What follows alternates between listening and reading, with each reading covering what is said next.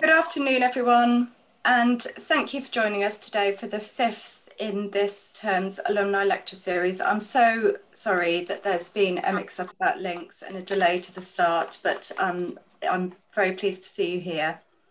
Uh, my name's Sophie Schermacher, and I'm the Alumni Relations Officer at Green Templeton. Um, before we begin, I just have one or two bits of housekeeping to run through.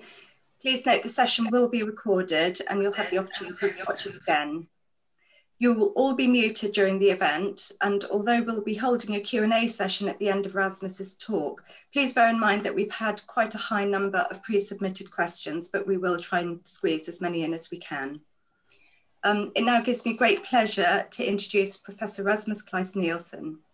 Rasmus is a Senior Research Fellow of Green Templeton College, Director of the Reuters Institute for the Study of Journalism, and Professor of Political Communication at the University of Oxford.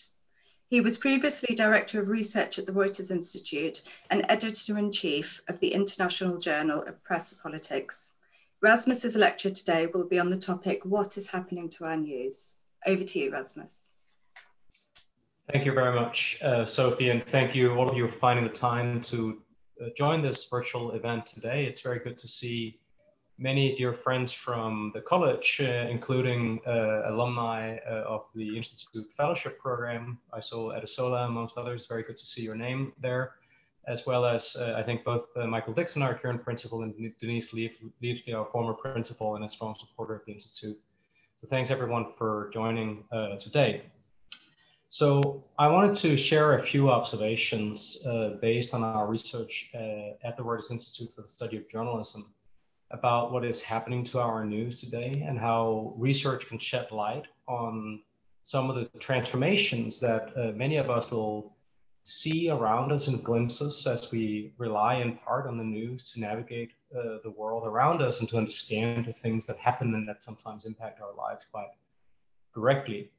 As sort of a framing device, uh, if you will, for um, this short presentation before we open up to a discussion uh, of you know, both where we are and, and, and the observations I will offer about where we might be heading. I wanted to offer as, if you will, a sort of a framing device, um, paraphrasing a quite a famous uh, formulation uh, from sociology, which is that I think we can say that we collectively make our news, but not under conditions of our own choosing. And in that sense, I want to speak both about the choices that we make as members of the public uh, from the observation that news and journalism uh, is fundamentally based on its relationship with the audience that it serves um, and that it sustains itself from, but also about the structural or institutional changes in what we have to choose from uh, as citizens as we navigate uh, our media environment. Now,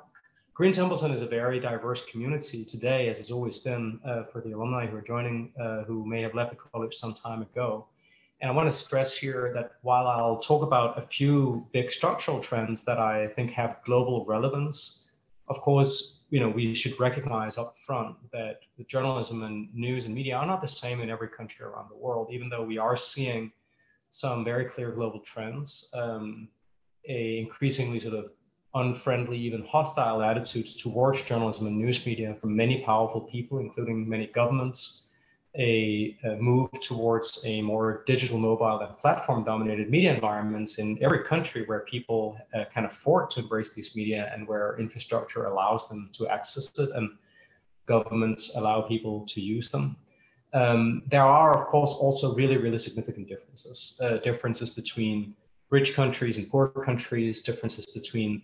uh, free countries and, and, unfree countries, and differences even within countries between more privileged communities and less privileged communities of various sorts, whether on lines of uh, class or ethnicity uh, or other forms of structural inequality. But that, with that qualification, um, I wanted to offer, offer some observations about what is happening to our news, both at the level of institutional changes and at the level of the changes that are driven by our choices as citizens and then a range of uh, possible scenarios for where we might be heading in the future. Um, and I do all this saying as a researcher that, you know, I'll leave for each of you to think about what you think news means in your life um, and whether you think of news as important, though uh, admittedly imperfect, or whether you are more skeptical of the news and perhaps not convinced uh, that news and journalism as we know it is a net benefit for society, I will say that generally research suggests that at least in countries where it's done by professional journalists and by independent, genuinely free media, that news and journalism plays a really important role in our societies. That it helps people be more informed about the world around them. Uh, it empowers people to take more active part in the political process and it helps people connect with the communities uh, locally and, and nationally that they are part of or want to be part of in ways that may sound like a sort of an after dinner speech uh, given by a you know misty-eyed retired editor extolling the virtues uh, of his or her profession um, but are uh, empirical observations based on hard science um, and, and things i think gives us reason to believe that it matters for all of us uh, what is happening to our news uh, and to journalism around the world. So with that said, I will jump in. Um, and I'll start with this uh, observation um, that I've used to capture some of the structural trends that I think we see, which is a quote, a famous quote from a quite an old book, almost a century ago, uh, by Joseph Schumpeter, an Austrian political economist, uh, uh, who writes that the history of social change is a history of ongoing uh, uh, of ongoing evolution, but the history of economic change specifically is a history of revolutions, of an ongoing process of creative destruction revolutionizes the economic structure from within, incessantly destroying the old one and incessantly creating a, a new one. And I offer this quote because I think one way of thinking about the developments that are underway um, in the news and media that we rely on as citizens is as a form of democratic creative destruction, if you will, where um, a, a, range of dynamics that are to a large extent about the business uh, of news and the way in which it's changed because of technological developments and a new competitive situation have a set of ramifications um, for the opportunities that all of us have the choices from which uh, the options from which we are making the choices that we make as citizens uh, as we move forward and that this creative destruction that is in large part economic in nature is often um, ahead, if you will, of the policy environment um, and, and even much of our way of thinking about the role of journalism and news in our societies, where we sometimes, I think, tend to rely still on inherited uh, conceptions of what journalism and news is uh, and what media organizations that enable it are like and how they operate. So, um, as promised, first some observations about the institutional changes that I think we can sort of capture some of the defining features of this process of what I would put to you as a form of democratic creative destruction, at least in countries that are fortunate enough to have some form of democracy, and in which journalism and news play such an important role. The first is the uh, long-term structural decline in print uh, as a medium. Um, I think everyone on a call like this will have heard much about the crisis of newspapers, but I think it's important to recognize that in sort of high income democracies with a long history of a mature press industry, like the United States, for example, this is a very long term structural decline. And what I'm showing here um, on the slide is the change uh, since the Second World War in the uh, paid print circulation of daily newspapers relative to population in the United States. as well as the share of overall advertising expenditure in the United States that went specifically to the newspaper industry. And as you can see immediately, this is a more than half a century of nonstop decline. Um, so in that sense, the uh, decline of the printed newspaper is nothing new. Um, it's been going on for a very long time. And now our important qualifications to this in terms of individual titles and in some countries like India, where um, print boomed much later than uh, in the United States or in the UK, of course, the story differs in important ways. But I think it's important here to recognize that much of the crisis of newspapers um, as a form of mass medium is nothing new. It's been with us for a very long time. Now, the reason to care about this um, is not sentimental, if you will, as, as sentimental as one might be about um, the pleasures that come with reading a printed newspaper, if that is one's preference and, and one's habit. Um, it is much more fundamental, which is that um, we, we should remember that even in a country like the UK that has a comparatively well-funded system of public service uh, uh, media provision, as well as a, uh, a large uh, and diverse commercial broadcasting sector, and a growing number of digital-only news publishers, print newspapers still account for a clear majority in the investment in original journalism. So the reason that we should care about their structural decline, both in terms of their reach, but also in terms of the revenues that the companies generate um, from uh, that business, from selling copies to audiences and in turn selling audiences attention to advertising, is that as that industry declines, so does newsroom employment, um, in particular at the local level, um, where uh, newspapers are often the only major outlet, uh, but also at the national level, where headcounts are declining as the industry revenues uh, decline. And now digital revenues, of course, have made up for a small subset of this loss in revenue, but so far um, very far from what has been lost in terms of print. But as said, this is nothing new. The decline of print is a long-term structural development that has been with us for a long time, entirely foreseeable, and we have no reason to expect anything but that it will continue um, until print is entirely reduced to what it largely is already, which is a niche medium for serving a relatively privileged and older part of the public um, and no longer in any meaningful sense in the S medium. But it's still an important part of the business of news and thus underwrites much of the journalism that all of us rely on, including that which we consume online. Now, where is all this money going then, you might be asking? Well, um, the answer is relatively clear. As we all start to spend our time online instead, the advertisers that historically uh, bought our attention by paying newspapers good money uh, for running ads and now buy our attention from those who have it.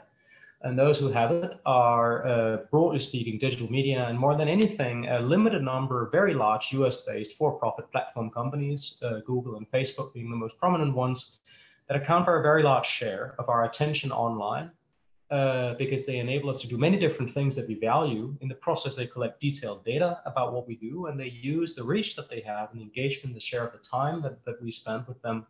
to sell very cheap, uh, highly targeted large scale advertising to advertisers. Quite sensibly, advertisers are quite taken by this proposition. If it's cheaper, better targeted, and reaches lots of people, why not use it? Um, and again, uh, predictably, they have flocked uh, to the platforms at the expense uh, of incumbent industries who've been, as the term would have it, disrupted in the process. Now, this is very good for shareholders in Google and Facebook. Um, it also has some benefits for all of us who get to enjoy services that are free at the point of consumption because they are supported by advertising. The catch when it comes to news and journalism is that um, these uh, very commercially successful companies uh, are not primarily in the business of news. Um, and while they do have various partnerships with news publishers and they generate a lot of attention uh, to news uh, by referring people to things through search and social and the like, and also have various commercial relationships with news publishers. As a share of their overall uh, business, news is a very, very small part indeed, and they invest very limited resources, comparatively speaking, uh, to news compared to the decline in print. So money is moving and has been moving for a long time away from print, which invested a lot in news and journalism, towards digital media, where the largest companies, the ones that are succeeding most extravagantly commercially, are investing very little in news because news fundamentally is not very important to them. Um, and because the advertisers that are flocking to them are not very interested in news either. We need to remember, of course, that the only reason the advertisers spend money with news historically was not because of the journalism, it was because the news media controlled one of the few channels through which the advertisers could actually reach the audience. Now the advertisers have other cheaper, more targeted, at larger scale channels available to reach the audiences. They are quite rationally spending their money elsewhere. Uh, to great benefit for advertisers, arguably, certainly to great benefit for the shareholders um, and employees of the technology companies, but very disruptive for the businesses news uh, of news as we inherited from the 20th century. So this is the, if you will, the creative destruction. New institutions are being created, the platform companies. Uh, we are in the process of trying to sort of socialize and regulate them as societies. And old ones like newspapers are being disrupted, some of them probably terminally so, um, others in the process of reinventing themselves. And I'm glad to say that some of those titles are doing very well indeed, and actually quite successful in adapting to a more digital environment. Now, um, what do these structural um, changes mean for the choices we can make and do make as individual uh, news consumers? Well, um, first of all, I think we need to recognize that we are really only in the beginning of um, an ongoing development in what is happening with our news um, because we are creatures of habit. And while the um, opportunities we have have been radically transformed by the emergence of digital media and the development of various platform uh, offerings, old habits die hard, and digital is often a supplement more than a substitute for older generations, even as younger generations come of age, who are largely native, if you will, to digital environment and regard print and increasingly broadcast television um, with the same sort of quaint uh, attitude that they might regard a telegraph um, or a steam engine with. Um, the numbers I'm showing you now, it's just a generational difference. It's a quite massive generational differences in um, the, the platforms or sources that different generations in our annual digital news report identify as their main source um, of news, where you can see very clearly uh, the sharp difference between an older generation, uh, sort of 55 and plus, um, where television is still clearly um, the most frequently named main source um, of news, identified by a majority of 51% as their main source of news, even though many have embraced uh, online media and social media as their main source of news. Um, and then uh, very strikingly, uh, uh, uh if you will, symmetrical differences where you look at the young generation of the 18 to 24 year olds who respond to our survey, where by now, only 21% identify television as the defining mass medium of the second half of the 20th century um, as their main source of news, and a massive 69% uh, identify uh, online. The reason these generational differences matter um, is not simply the sort of basic observation that young people and old people do things differently. That has always been the case. Um, but just as a sort of a forceful reminder, if you will, um, that even if technological development were to stop immediately and sort of completely cease tomorrow, we would still be living through the sort of the long rolling wave of generational replacement and business models and forms of journalism premised on the media habits of those who grew up in the 20th century and are still to some extent wedded to print or, or broadcast will gradually be replaced by the habits of those uh, who are coming of age now and who have grown up in an entirely digital mobile centered and platform dominated media environment and who may on occasion pick up the odd print publication or even watch something in broadcast television, but are largely navigating the world through digital media, through mobile media, and by relying on various forms of platforms. So the choices are there for all to make who have connectivity, at least in free societies. Uh, the choices are meaningfully different by different generations, and we will expect to see these playing out uh, over um, the years to come. A second observation about the uh, changes underway in, in how we um, engage with news uh, as citizens and, uh, and how we use media in this changing environment is the changes in terms of um, how people discover news and navigate news in a very sort of practical sense, where I think a meaningful distinction can be made between what I would think of as sort of direct discovery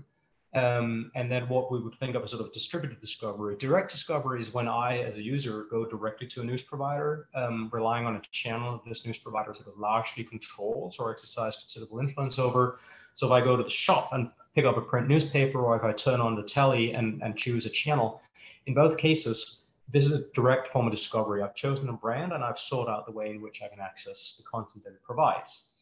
Um, in the online environment and digital environment, direct discovery is still important. There are people who have news apps on their phone. There are people who will type in the URL of a news provider, the BBC or a commercial competitor, and go um, directly to the news provider. But when we ask people about the, all the different many ways in which they find and access news online, not just going direct, but also relying on social media such as Facebook, search engines, overwhelmingly, overwhelmingly the dominant one provided by Google, or various forms of aggregators and the like.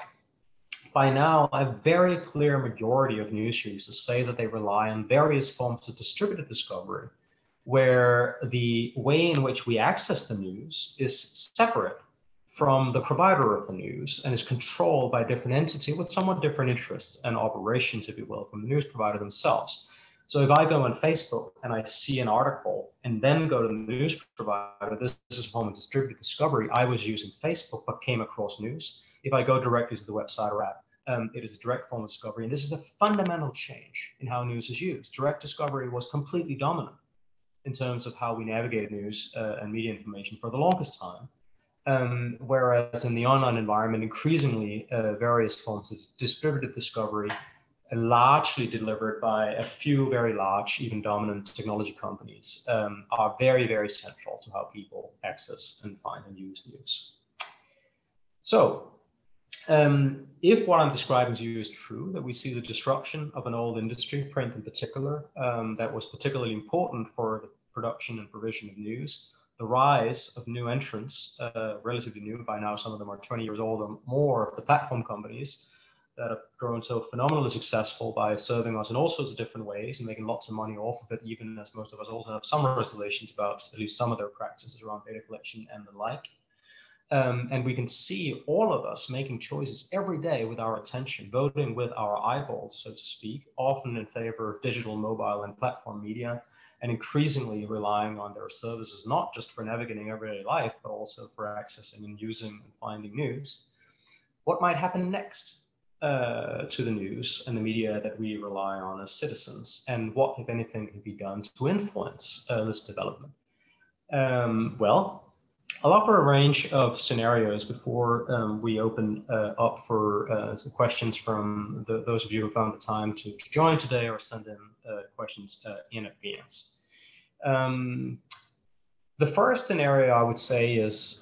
what we might think of as sort of restoration, where uh, we can imagine um, that the news media develop new business models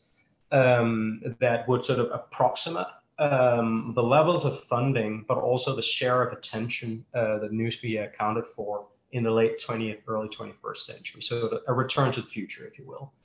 Um, I think this is highly unlikely, uh, but it's not impossible. And there are clearly uh, voices in, in, the industry who would seek uh, seek this and who think of this as quite desirable. Though I think it is worth remembering that I don't know of anyone under 40 who was would prefer the media environment I grew up with uh, in the 90s to the one that we have today, at least amongst the audience, uh, even if many journalists and many in the industry may have many reasons to um, think fondly of the profit margins and the large um, and uncontested mass audiences of the not so distant past. The restoration, not impossible, but I would say unlikely given uh, the demonstrated preferences of all of us as citizens. We can think, um, I think also of an alternative scenario that I would think of as sort of renewal, if you will, where the news industry and the news media um, uh, break with the uh, attempt to go back and think about what the roads ahead might be and whether, um, given that we live in radically transformed societies and radically transformed media environments, whether instead of seeking to restore the old role, there is a case to be made for thinking about a, a different set of roles that news media might seek, um, less solely uh, focused on um, essentially sort of the we publish and you read mindset of information provision and a bit more attuned to supplementing that with a sort of recognition of the fact that most people no longer have problems of information scarcity, but arguably problems of information abundance. Um, and that many of the informational problems that inflict our societies are not necessarily um, problems that can be solved solely through the provision of more information, but also require debunking uh, or pre-bunking even, as well as thinking about um, whether there are ways in which uh, news is produced and distributed that needs to be radically rethought to really reach the audiences that so demonstrably have turned their back on forms of news that they uh, often find uh, neither refl reflect, represent, or respect them, their values, or their ways of life, whether these groups are politically um, uh, marginalized or uh, you know minorities that have been ill-treated for many years by majoritarian uh, media, uh, or simply people who are less privileged in many ways uh, along lines of uh, income and education, like who also I think have many reasons to have grievances against the media as we knew them, as well as how they operate today. So renewal, I think possible scenario, though it requires um, I think a a different disposition amongst journalists and news media uh, than what I would think of as sort of the main lines of much of the profession and the industry, though not all. Some are reformists. Retreat is the third scenario um, that I would offer, which is, um, you know, one I think of as a real risk, though I, I don't think is the most uh, probable one. This is a scenario in which um, the news media um, look at the world in which we live um, recognize that um, we now have proof of concept of business models that serve the information needs of people like me. So people who are privileged, uh, affluent, and well educated, who are very interested in news, who are willing to pay for it, sometimes from several providers. Um, and who have every reason to be quite sort of uh, content actually with the amazing abundance of high quality journalism that's available for them. Uh, some of it free, some of it for a reasonable price, all of it very easily accessible online, and simply retreat to primarily serving this relatively small minority um, and through that retreat comes to sort of cease playing the kind of sort of popular enlightenment role that news uh, played in the 20th century through media like popular newspapers, but also through broadcast, most important public service, uh, and the widely read sort of metropolitan newspapers of the United States uh, in particular, and sort of retreat from that idea of a mass public and a popular enlightenment role for journalism, an inclusive form of journalism meant to be for everybody and settles for serving the few uh, who are demonstrably willing to engage and pay, uh, from whom one can demonstrably play, uh, build a sustainable business model, but which would in effect, I think, uh, involve the risk of reducing journalism to um, a stature in our society that comes closer to the fine arts, if you will, um, than that of a sort of truly democratic set of institutions for everybody. Uh, and I don't say that to condescend upon the fine arts. I think you know ballet and opera and the like are mighty fine things, but they are very different if you will, from the inclusive uh, popularity that characterized journalism and news media uh, in many countries in much of the 20th century. Finally, um, I would be remiss if I didn't recognize a fourth R in my alliteration and also just recognize that there is also a, um, a very real scenario in which the future of the news is one in which a relatively brief period of relative autonomy, driven in, in part by political support for the importance of independent journalism and free media, but also uh, importantly through the commercial success of for-profit news publishing, uh, fades away, and we see a return to what is arguably the most common outcome, both historically but also across much of the globe today, where um, news media cease to be relatively independent of the most important political and commercial uh, holders of power and become instruments, if you will, that are co-opted or even captured and relegated to serving various political and commercial ends that have little, if nothing, to do with independent news provision and become instruments and organs of influence um, that are run not to inform the public or hold power to account, but as one of the many different instruments uh, that powerful interests use uh, as they struggle for money uh, and influence uh, in society. Now, um, some of these choices uh, or these outcomes will depend on our choices individually um, as uh, media users and as citizens. As said, you know, we, you know, the news that we get uh, depend in large part on the news that we make, if you will, the choices we make. We make our own news media, but also I wanted to recognize that not under conditions of our own choosing, of course, in part, in, in large part in authoritarian, totalitarian societies or poor societies, but also in a country like the UK, which is very privileged in a global perspective. But there are also collective choices to make here that are not simply about the aggregate of our individual choices. There are policy choices. Um, in that sense, the future of news and media depend on journalists and they're willing to change, and media organizations, their willingness to change, as well as our choices uh, as members of the public, but also on policy. Um, there are meaningful options that are available to policymakers if they were genuinely interested in creating a more enabling environment for independent news media and for professional journalism and I would simply end uh, with this observation that given that the options are available, we know that they exist. We see a few countries that in fact practice them, um, whether through independent public service media or various forms of direct and indirect subsidies for professional news production offered to private commercial providers. Um, I think it is quite noticeable um, that these are almost never pursued. Um, this is what uh, policy scholars would call sort of deliberate non-intervention or negative policy, where options are available, they could be pursued, but they are not a priority. Uh, and in this sense, I think there are individual choices we make as uh, citizens and consumers, um, but also collective choices we make as societies about whether we make collectively binding decisions uh, through our elected officials and through various forms of policy and regulation to actually support journalism and news that is clearly imperfect in many, many important ways, but also, I would say, as a citizen, but also more importantly in this context, as a researcher, we have many reasons to believe with these imperfections play a really important role in our society, have done so in the past, and I hope we do so in the future too, though we need to recognize that this risk, this role is under tremendous pressure because of the development that I have outlined here today. With that, um, thank you very much, and I look forward to the questions.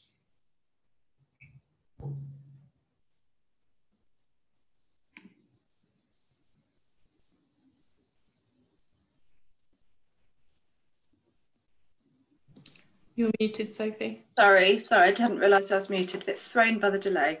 Um, we do have plenty of pre-submitted questions, um, and the first one I'll start with was, is what could happen to democracy if our newsrooms go broke? Well, um, we would see even higher levels of information inequality between those uh, citizens who are most active and engaged and seek out most different sources of information. Um, and then the larger majority of people who are interested in public affairs and politics, but less so than in other things in life that may be more compelling and attractive, uh, like private affairs and uh, community affairs um, and, and, the like. So greater information inequality. Um, we have a fair amount of research um, from the United States, but I think this is broadly applicable in other contexts too, suggesting that the, even the presence of, of independent news media, even in contexts where not everybody actually makes use of them as citizens, have a uh, salutary effect uh, on many parts of public life, including increasing the likelihood that elected representatives vote in line with their constituents' policy preferences, perhaps uh, usefully disciplined by the consciousness that someone is keeping an eye on them. And also that uh, independent news media um, uh, are associated with lower levels of corruption, both in the private sector and the public sector, as well as greater efficiency in the public sector.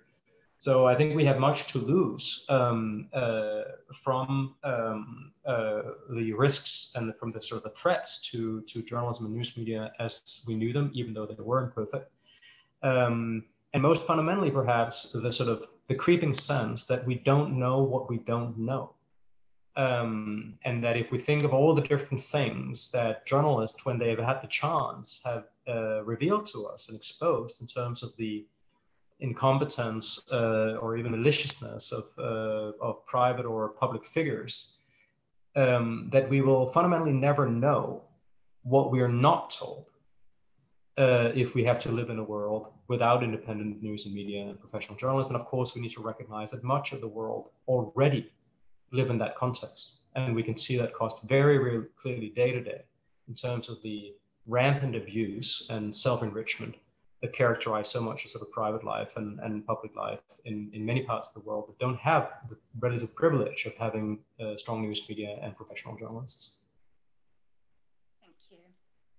Um, the next question we've had is How do you think the COVID 19 crisis may impact on newsrooms, or I suppose is impacting on newsrooms? Uh, it's been really tough. Um, you know, I think there was sort of a first uh, encouraging sort of wave of interest and a surge in news use as the pandemic hit different countries, and citizens quite understandably and recently turned to news providers in part for information about what to make of this new and, and challenging situation. Um, but this surge has sort of started to fade uh, over time as the pandemic becomes sort of a form of new normal. Um, even as the challenges remain for newsrooms across the world, how do you cover the news when you are severely constrained by various lockdown measures? Uh, how do you cover a very complex and challenging and fundamentally poorly understood phenomena like the coronavirus um, uh, when often in, in most newsrooms you don't have the privilege of having a specialized science correspondent who is well equipped to really engage with, say, medical professionals or medical researchers and really understand the science behind the disease as well as responses to it. How do you cover that? How do you cover that while working remotely? And of course, fundamentally, again, uh, because most independent professional journalism is fundamentally funded by for profit companies, the economic consequences of the lockdown and the crisis are very severe. And we've seen a spate of layoffs at news media across the world in response to declining advertising revenues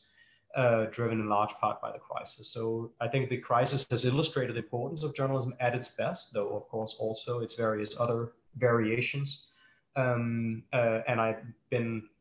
you know, very impressed with the best journalism we've seen. I think we owe a tremendous uh, debt of gratitude in a way as, uh, as citizens to some of these investigations we've seen into government uh, and others, and, and just the sort of way in which journalists have helped make really complicated and difficult information from medical scientists and experts available to us as citizens of labor people. But it's also clear that the crisis is a tremendous challenge uh, for an already challenged profession and industry. Thank you. Um, the next question uh, is the discussions about public funding for journalism have been increasing. Do you believe that it is a non-returning route?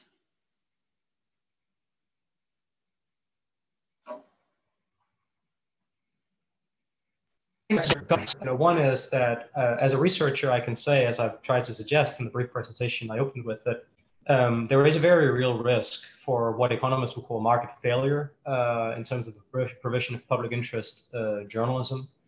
Um, if there is market failure, um, then there is a case for policy intervention. Um, and we know for a fact that there are forms of policy that are available that would make a meaningful difference. Um, as a citizen, I suppose that I am personally convinced that in countries where we can be confident that such forms of support um, will not be abused by politicians to try to capture and uh, bring to heel independent news media and journalists the way they clearly will be in, in some other countries, uh, then I think on balance that these policies make a lot of sense. Um, and as a and as a sort of a citizen, um, you know, I I, I um, regard calmly the prospect of my tax money being spent amongst other things on supporting uh, professional journalism and news media but I would say on that, I think we need to be realistic and and see that it is probably a minority of uh, members of the public and certainly a minority of politicians um, who regard that prospect quite as calmly as I do. Um, and anyone who thinks differently, however fond they might be of journalism and news media, I would invite them to go door to door um, and knock on doors and ask people, uh, or sort of campaign on the slogan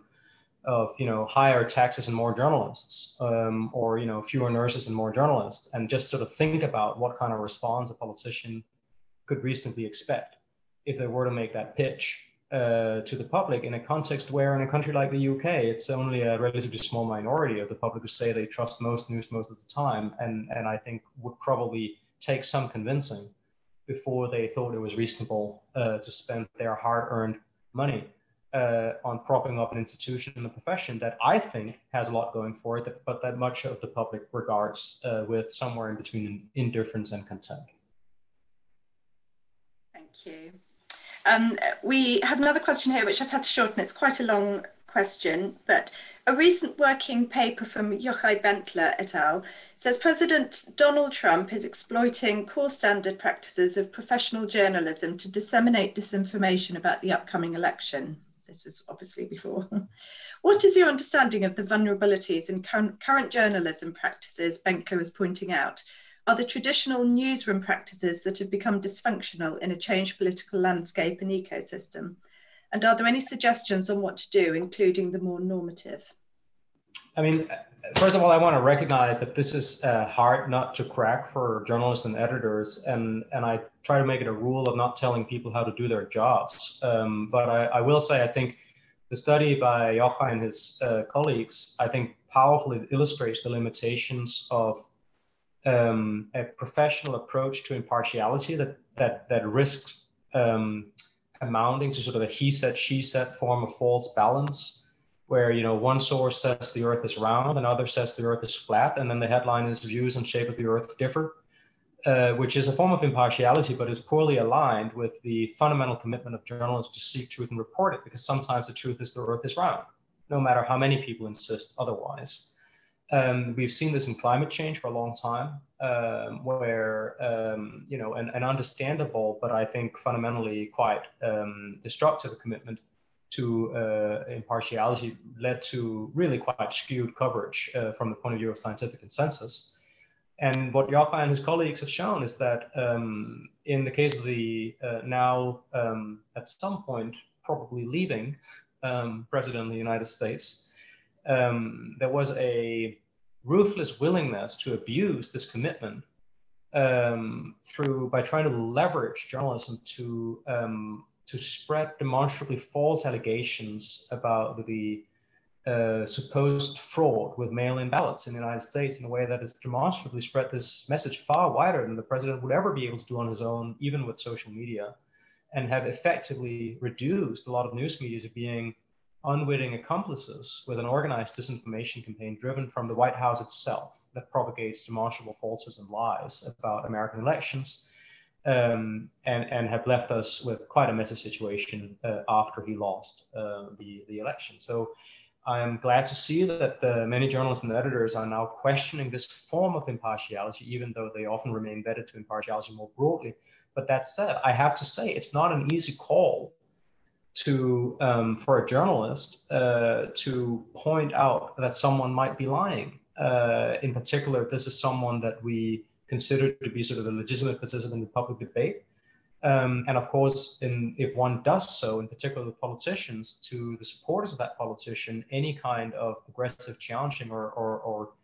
um, or, or, or limitation of uh, willingness to spread their views will come across as censorship and partisanship and bias, really. And of course, this is exactly what we see in the United States. So I'm glad we're seeing a rethinking around this, but I also want to recognize it's not easy. And I understand the choices made by many editors and journalists in this difficult terrain. Thank you. Um, I'd quite, I'd like to squeeze in two more questions if you're happy with that. Um, are newspapers worth saving as commercial enterprises? Um, I mean, some newspapers and, and which ones, it depends on, is in the eye of the beholder. Um, I mean, I think more fundamentally, um, what I believe very fervently that we have good reasons to, to, to say is that um,